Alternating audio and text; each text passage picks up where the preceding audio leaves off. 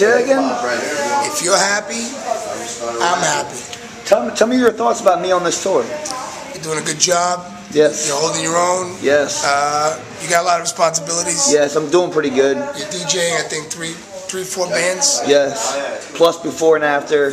Break up, break down, Yeah. and then uh, I deal with a lot of shit afterwards, right? mental torture. Yes. pretty good with it. Physical torture, Physical torture. Yelling, Uh, hazing. I'm exhausted. Exactly.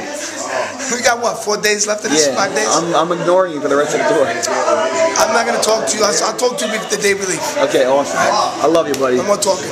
All right.